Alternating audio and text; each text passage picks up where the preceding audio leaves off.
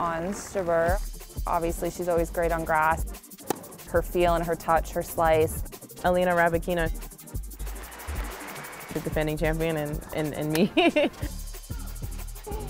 Hopefully myself too. Game, set and match, take it up. Paula Badosa.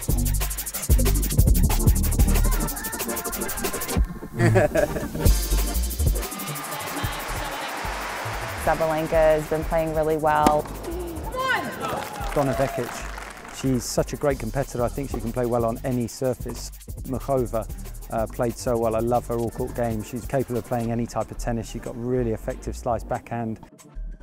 On the women's side, two to watch out for are Donna Vekic and Muchova.